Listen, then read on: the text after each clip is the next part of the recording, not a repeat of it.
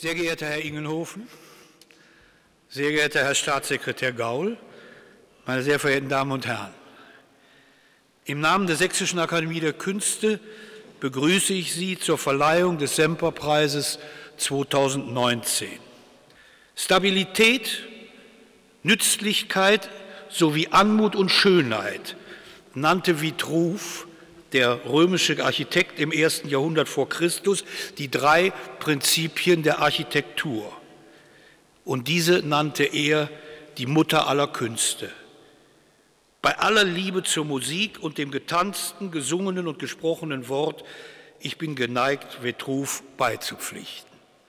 Keine andere Kunst greift so direkt ins Leben der Menschen ein wie die Baukunst.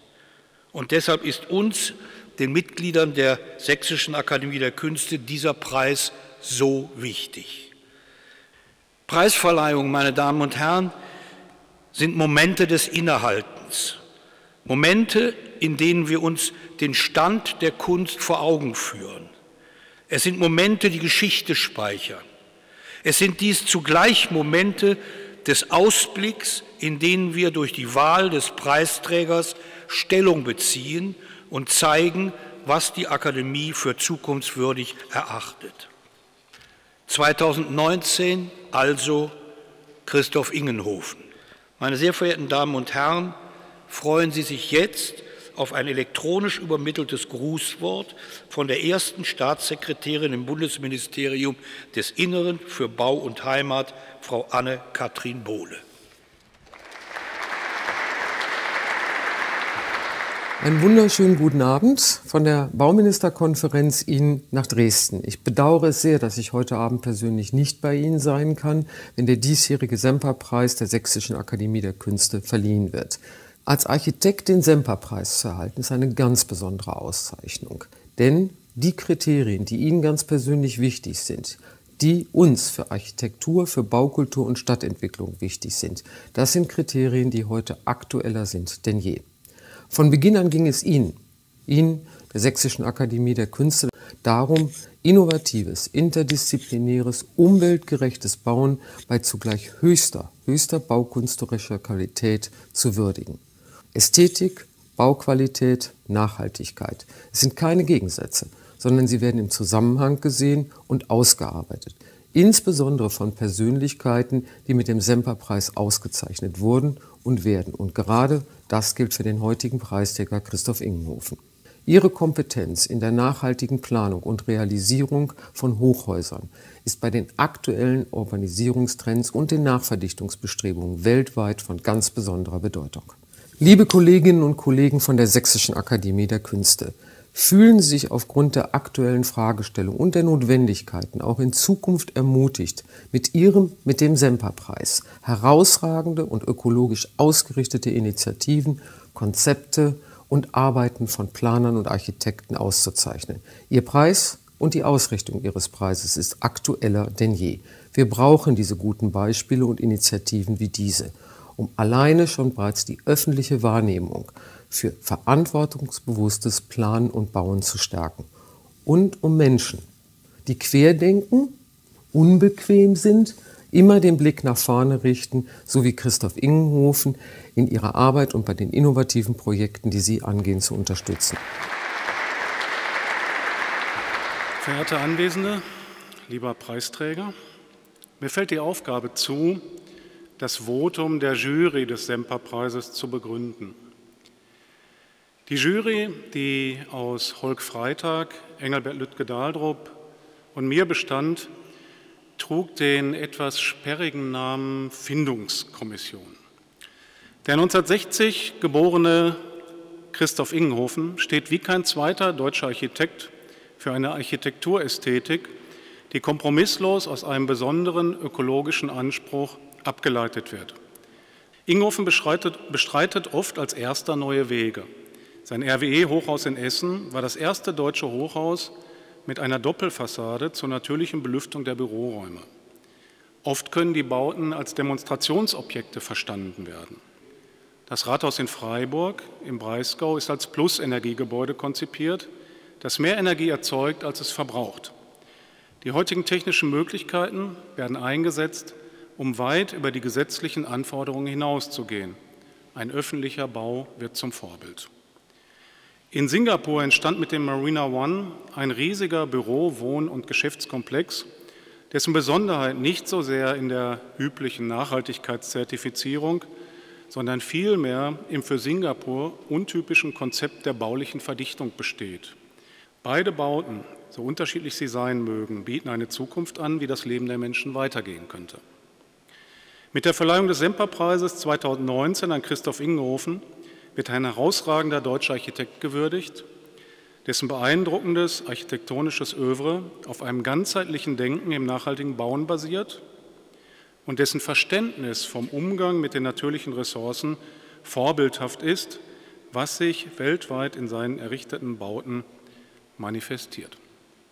Soweit die Jury.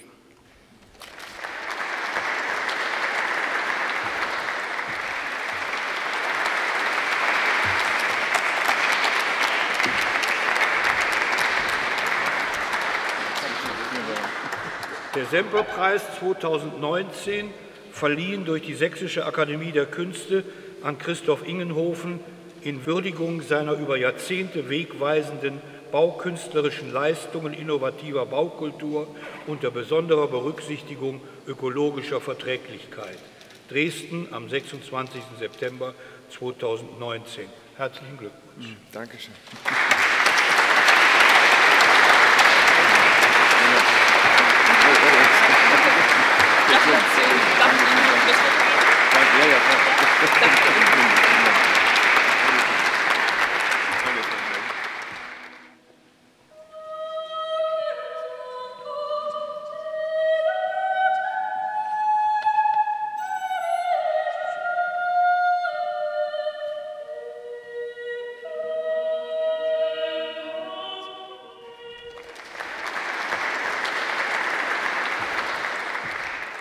Uns kann niemand stoppen, rief Greta Thunberg in der vergangenen Woche vor den Vereinten Nationen, einen Tag nach den ersten weltumspannenden Protesten gegen die Klimapolitik der politisch und industriepolitisch Verantwortlichen auf dieser Welt.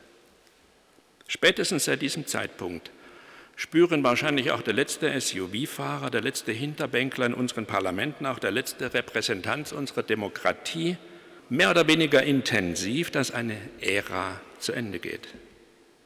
Die Ära des Verdrängens.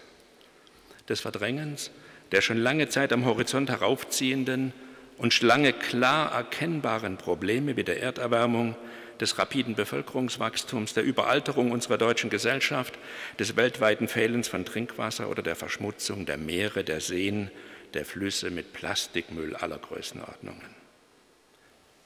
Und wenn ich Ihnen jetzt noch zusätzlich aufliste, dass das Bauschaffen für nahezu 60 Prozent des Ressourcenverbrauchs steht, für nahezu 60 Prozent des Massenmüllaufkommens, für 40 Prozent der weltweiten CO2-Emissionen, dass bei der Herstellung von Zement mehr CO2 emittiert wird als vom gesamten Weltluftverkehr, dann erkennen Sie die überaus große Verantwortung, aber auch den gigantischen Hebel, den die Bauschaffenden zur Beeinflussung unserer zukünftigen Lebensmöglichkeiten haben. Es ist Christoph Ingenhofen wie kaum einem anderen gelungen, seine architektonische Haltung konsequent zu entwickeln und sie räumlich, stadträumlich, materiell und technisch so umzusetzen, dass gebaute Heimat in unverwechselbarer architektonischer Handschrift entsteht. Gebaute Heimat, die den Menschen umschmeichelt und die ökologisch verantwortbar ist. Avancierte Lösungen im Bereich der tragenden Konstruktion, im Bereich der Fassade, ebenso wie stets avancierte Lösungen im Bereich der Gebäudekonditionierung, also Heizen, Kühlen, Lüften, alles unter der Zielsetzung einer minimierten Auswirkung auf die Umwelt und die Atmosphäre. Bei gleichzeitiger Steigerung der Aufenthaltsqualität im Inneren. Aber ich korrigiere mich, bei Christoph Ingenhofens Gebäuden sollte man eigentlich nicht diesen spröden Begriff Aufenthaltsqualität verwenden. Seine Gebäude geben viel mehr. Sie beherbergen, sie umhüllen, sie umsorgen, sie umschmeicheln. Was will man mehr? Die Sächsische Akademie der Künste hat Christoph Ingenhofen heute mit dem Semperpreis geehrt. Keiner, meine Damen und Herren, mit großem Abstand zu allen anderen, keiner hat diesen Preis heute mehr verdient als Christoph Ingenhofen. Vielen Dank.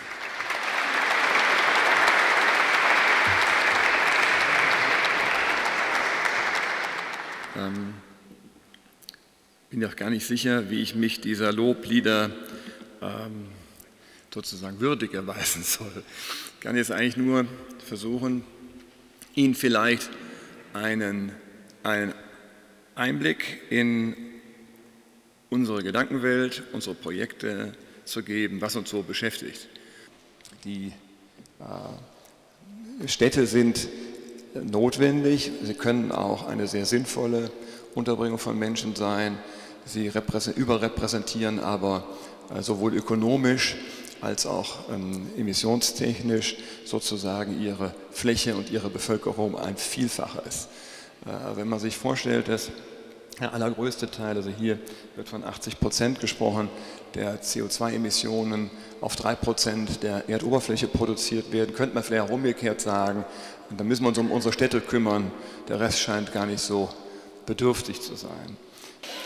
Ja, es gibt europäische Städte, hier ist Barcelona als Beispiel, die eine extrem hohe Dichte bereits haben, obwohl sie kein einziges Hochhaus haben, jedenfalls nicht in der Innenstadt. Also es ist auch nicht unbedingt so, dass nur Hochhäuser die Lösung aller Probleme wären. Es gibt also Städte, die wir als sehr lebenswert empfinden, sehr lebenswert empfinden und die dennoch fast alle die Voraussetzungen erfüllen, die wir uns in einer Stadt in Zukunft wünschen.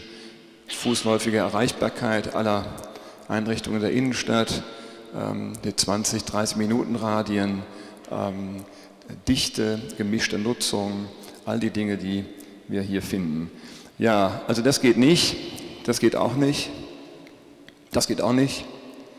Das sind alles Beispiele, die uns zeigen, was wir gemacht haben eigentlich die letzten 20, 30 Jahre und was sicherlich keine Zukunft hat. Also werden wir die Welt wieder begrünen müssen. Das ist übrigens keine Wiederbegrünung, sondern das ist eine existierende Allee einfach von oben. Man sieht, welche enorme Biomasse Bäume in eine Stadt bringen können. Und wir müssten sicherlich jede Gelegenheit ergreifen, ähm, unsere Städte zu, unsere Häuser, unsere Anlagen, unsere Straßen zu begrünen und zu regreenen. Ja, das Hochhaus zu zivilisieren ist sicher ein Anliegen, das unser Büro bewegt. Warum? Ein Überleben auf diesem Planeten ohne Hochhäuser ist nicht möglich. Diese Dichte zu erzeugen ist ohne Hochhäuser weltweit nicht möglich. Das mag uns aus unserer Perspektive in Mitteleuropa ähm, lässlich erscheinen, ist aber, sagen wir mal, angesichts von Hunderten und Tausenden von Hochhäusern, die in chinesischen Großstädten gebaut werden, eine obsolete Haltung, die sie nicht durchhalten lässt. Und es hilft uns nichts. Wir werden dieses, diese Häuser zivilisieren müssen, also zu menschlichen Behausungen machen müssen. Ähm, Hypercities sind unsere Zukunft, die werden dann noch größer sein, die werden dann 50 und 100 Millionen Einwohner haben. Und für die brauchen wir auch soziale Organisationsformen, die funktionieren.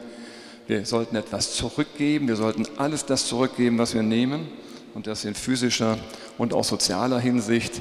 Wir haben Häuser gebaut, bei denen komplette Erdgeschosse aufgestellt und öffentlich sind, selbst in einem superkapitalistischen Umfeld wie dem Central Business District von Sydney ist das möglich. 100 Prozent der gesamten Grundstücksfläche ist dort öffentlich zugänglich, Tag und Nacht.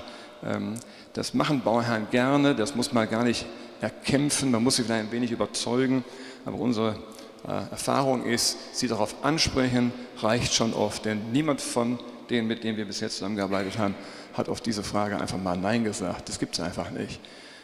Ja, dass wenig keineswegs wenig sein muss, sieht man an diesen Beispielen. Äh, sie sind mir in der Kommunikation über unsere Projekte ein Beweis dafür, dass menschengemachte Dinge sehr, sehr schön sein können, wenn sie nur das sind und aus dem gemacht sind, was die pure Notwendigkeit ist. Also ich glaube, man muss überhaupt keine Angst haben davor, alles Mögliche wegzulassen, weil am Ende dieses Prozesses des Weglassens etwas sehr Schönes übrig bleibt, solange man genau studiert, was man braucht, wofür man es braucht und was der Funktion und den Möglichkeiten dieses jeweiligen Gegenstandes oder Projektes oder architektonischen äh, Ensembles entspricht. Und so ist der Bahnhof Stuttgart zustande gekommen, quasi aus der Grundidee dieses sehr einfachen Seifenknotens, könnte man sagen, dieser Schlinge. Und so ist die Idee entstanden, die tiefliegenden Gleise nicht mit einem Hochbau zu überdachen, sondern mit einem ebenfalls tief liegenden Gebäude, das mit dieser begrenzten Höhe von zwischen 8 und 12 Metern versucht auszukommen. Und das bedeutet natürlich eine Konstruktion zu entwickeln, die diesen Raum eben bestens ausnutzt und das eben in einer überzeugenden Form tut. Wir müssen dabei mutig sein. Ich weiß, dass das ein umstrittenes Beispiel ist, aber ich habe Zeit meines Lebens die Leute bewundert, die die Entscheidung getroffen haben, diese Brücke zu bauen. Und ich habe auch immer bewundert, dass ein Ingenieur, der es nämlich war, entschieden hat, dass sie rot wird. Und sie ist wunderschön. Also es funktioniert, es geht. Ähm, und ja, das ist auch eine Entscheidung, die ich bewundere, ähm, wie jemand als New York noch von zwei bis drei geschossigen Gebäuden bestimmt war, entschieden hat, dass diese gewaltige Fläche nicht bebaut wird. Das ist genau der Weitblick und der Mut, den man sich heute wünscht, um ein wenig von der Kleingeistigkeit und von den Schwierigkeiten wegzukommen, die man so hat. Ja, wir wollen die Autos loswerden, wir werden die Fußgänger bevorzugen müssen. Wir sollten nicht vergessen, dass das Leben eigentlich zwischen den Gebäuden stattfindet und die wichtigen Räume ebenfalls. Wir könnten die Straßen den Leuten zurückgeben, wir könnten das Erdgeschoss öffnen. Und wir müssen die Städte weiter verdichten und dabei fröhlich bleiben. Wir könnten auf dem Dach unser Gemüse pflanzen, was einige schon tun, und wir könnten die Früchte teilen. Und wir müssen dafür mehr als nur die Dächer begrünen.